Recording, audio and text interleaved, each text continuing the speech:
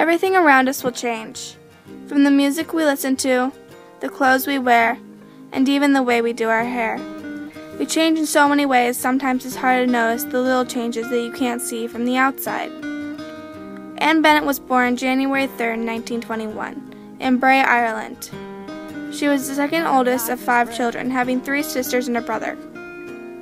She was a shy and quiet child who always had the dream of being a nurse. So at the age of 16, Anne left her small town and family to go to nursing school in London. Anne was a hard worker and was almost finished with her schooling when the war hit. Anne soon found herself in the middle of the Second World War, nursing wounded soldiers and civilians at a local hospital. One day, as Anne says, as I left those walls during a midday afternoon, I walked out to black skies. Anne had walked out when German planes were flying over, causing the sky to look back, which was also known as a blitz. and was in the hospital bomb shelter during a German raiding when she met Aaron Logan, a quiet and shy American soldier. Aaron and Anne had something special, and every time Aaron was off duty, he had a special pass to go see Anne. Anne and Aaron got married on July 12, 1945, making Anne a war bride. As the war came to an end, Anne was faced with a new challenge America. She was put on a ship with other war brides to be sent to Ellis Island. As she arrived at Ellis Island, she collected her green card and a train ticket to LA. As she arrived in LA, she found a note saying to catch a bus to Santa Barbara to meet her new family and reunite with her husband, who she hadn't seen in six months.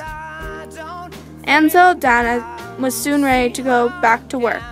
Yet all her schooling documents had been destroyed during the war, meaning she would have to start school all over again to ever be a nurse.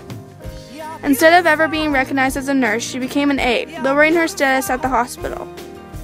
Anne had a hard task at hand, learning American culture. She soon started to try American cooking.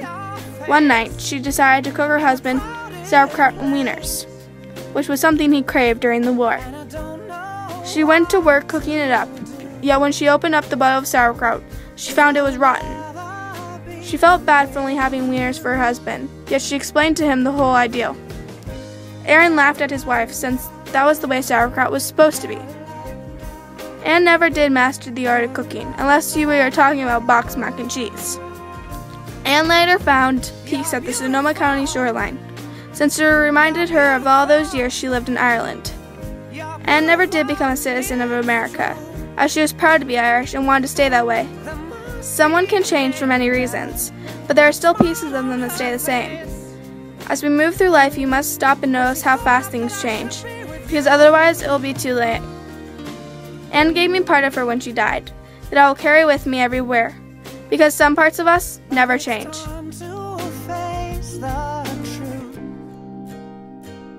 I will never